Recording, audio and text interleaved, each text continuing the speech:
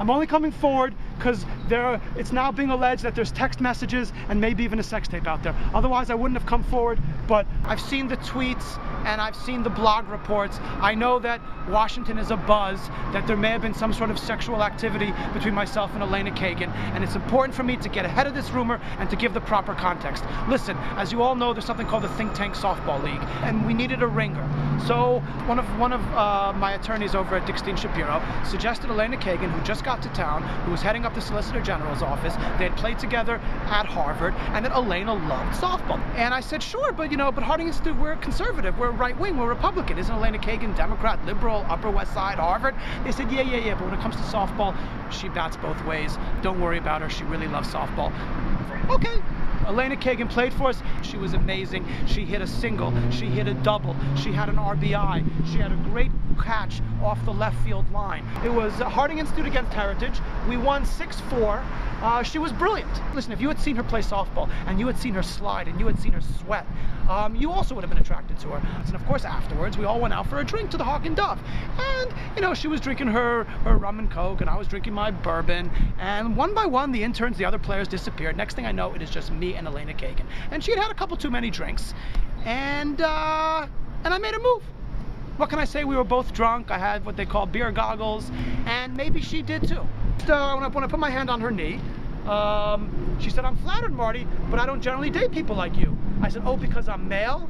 She goes, no, not because you're male, because you're... And then she stopped herself and said, don't you know that I clerked for Thurgood Marshall? I said, yeah, what does that got to do with it? And she just smiled. So I still don't quite know what she meant by that comment, but two drinks later, she relented. We went back to, to, to my place, and, uh, and there was arousal. Unfortunately, um, for the record and to set it straight, we did not have actual sexual relations, so those rumors are lies, because we weren't able to really get to that moment of uh, satisfaction and uh, mutual interaction for reasons I'd rather not go into. It's a softball metaphor, we did not get past second base.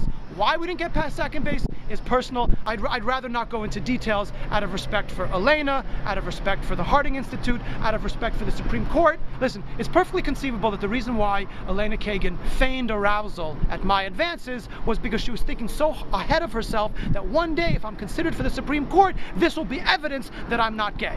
And it's possible. I can't prove that that's not the case. Maybe it's maybe I shouldn't have said anything. Maybe it's a mistake that I talked at all.